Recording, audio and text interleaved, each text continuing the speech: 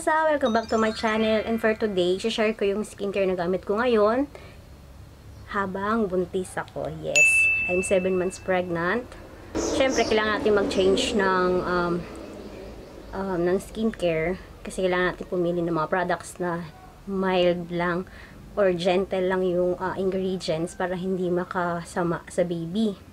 So, four products lang yung gamit ko kasi nagkukos cutting talaga ako.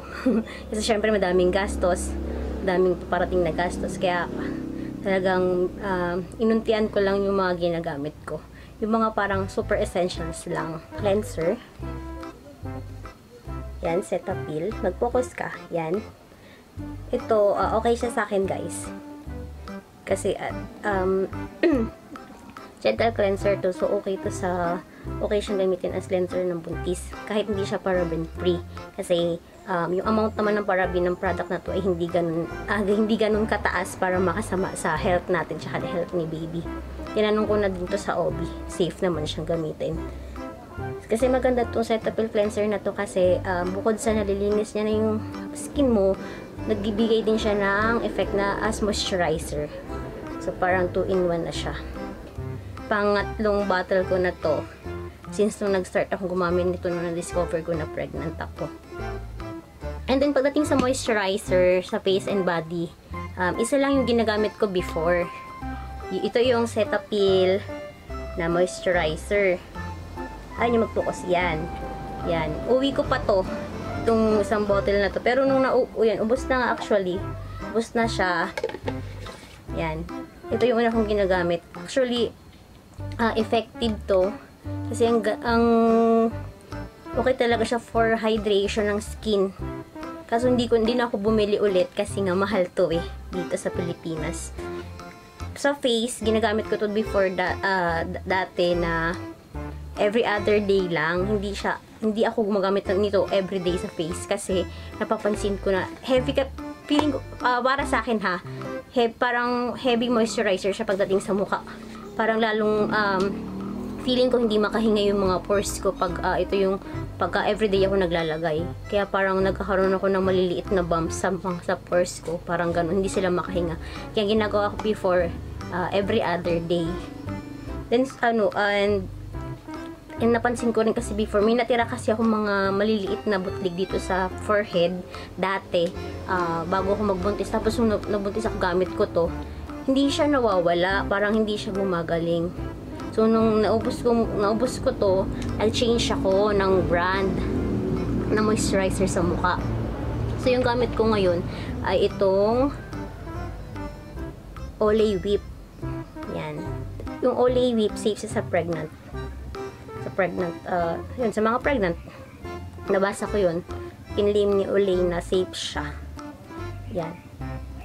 And, bukod sa, kaya 10 grams lang muna kasi ang mahal nung malaki uh, halos 2k siya. Ito, magkano lang to, less than 500 lang to. So, baga, try try mo na pag hindi humiyang, edi hindi ka manghihinayang kasi maliit lang yung binili mo. Actually, bukod sa ang bango-bango nito, napaka light lang ng pakaramdam nung cream na to as in kaya gustong gusto ko to eh kaso ang hirap maghanap na ang hirap maghanap ng size nito kasi malapit na siyang maubos Malapit na siyang maubos, promise. Ang hirap maghanap ng size na 10 grams. Nagtanong, nung, nag, nag, nung umalis kami, napunta kami ng mall, nagtanong ako dun sa, nagtanong na ako dun sa, ano, sa una kong binilhan nito. Wala silang stock ng 10 grams. Tapos dun sa isang store, wala din. Kaya nga nag-aalala ako saan ako bibili. Kasi hindi na rin ako pwedeng bumiyahe ng bumiyahe. Yun. Pero promise, kasi nung ginamit ko to, wala pang one month ah, as in, yung mga bumps ko dyan sa noo, nawala na. Yung mga butig-butig ko as in nawala. So parang sabi ko, ay, pwede to, hiyang to sa akin. Kaya, kaya mag-stick ako dito sa Olay. Pero sana makabili.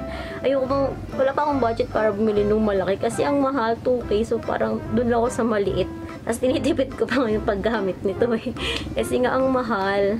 Pero super effective talaga siya. Kasi sa short period of time na paggamit ko, parang yung effect na kagad siya sa mukha ko. Yan. And then, hindi din ako talaga tinatagihawat ng bonggang-bongga. Maliliit lang, tapos paisa-isa lang, ganun. Which is okay, kasi di ba merong mga buntis na nagbe-break out. Kaya, yun, pasalamat na lang ako kasi hindi ko siya nararanasan. Yun. And then, for my body, yung ginagamit kong lotion, ay Jergens. Yan. Yung daily, focus ka, daily moisture.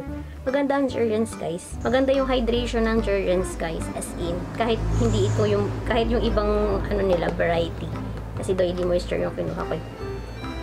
Gusto, ko rin yung, yung, isa, yung alo. Yung alo nila na Jergens. Pero ito yung, ito lang kasi yung nauwi ko. Actually, uwi ko pa to. So, yun, medyo, pagdating sa skincare, yung gastos ko medyo maliit. Kasi may mga, mga stock pa na magagamit na safe naman para sa akin. So, yun. Kasi, uh, proven and tested ko na itong Jergens. Nung nasa Saudi kasi ako, laging dry yung skin ko. Ito yung lotion na nakapagpapagaling ng dryness ng balat ko. Kaya ito yung ginamit ko dito kasi pag buntis ka, kasi nagpo-focus ako dun sa area na syempre nag-stretch, which is yung hita ko, yung chan ko, tsaka yung breast ko. Nagpo-focus ako dun na i-moisturize kasi prone na prone, 'di ba sa stretch mark. Kaya 'yun. Eh dapat ah, yung skin mo hide ano um ano to?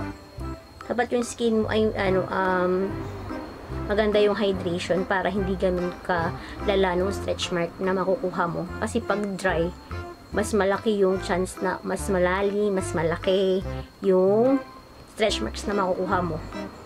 Kaya, kaya pag kung, kung maganda yung hydration ng skin mo, pwedeng malesen. Kasi hindi naman maiwasan na hindi ka magkakaroon ng stretch marks. Iba nga oil pa yung ginagamit eh. Pero nga kasi, um, nagko-cost cutting nga kasi ako pagdating sa beauty products kasi nga madami akong gas, madami akong gastos na pinaglalaanan. Kasi um, bukod sa wala akong trabaho ngayon, kasi nga buntis ako, um, sinusupport lang din kasi ako ng husband ko kaya yun, parang nakakagilty kasi na ibili ko lang ng mga ng mga products na kung ano-ano yung yung binibigay niya sa akin.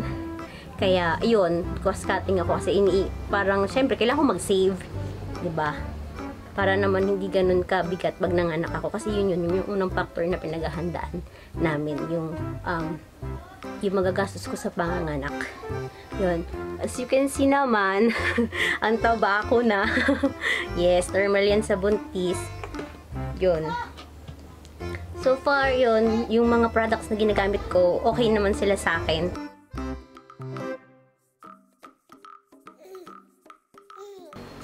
So, yun.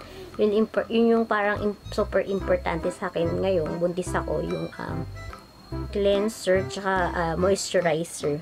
Yung iba wala, wala na, wala wala muna tayong whitening, wala muna tayong um, anti spots, ganun kasi um, bawal gumamit nun eh. Yung lahat ng ginagamit ko sa face ko before na bago ako mabuntis, tulad ng pangalis ng, yan, ng hyperpigmentation, ng, ng whitening product, ng pang, pang, pang Korean skincare, yung glass gla- ano yung glass skin, yung ganun, tinigil ko muna yun kasi na hindi siya pwede. Pregnant woman na nakaka-experience ng mga alam niyo na unusual sa katawan natin, don't be sad. Mag, mag, mawawala din yan. Alampasan din natin yan. yan ang talaga. Meron tayo hindi, hindi meron tayong mga bagay na hindi natin na-control, pero mawawala din sila. Mawawala din yan. Kung mag-breakout ka man ngayon, don't be sad. Gagaling din yan.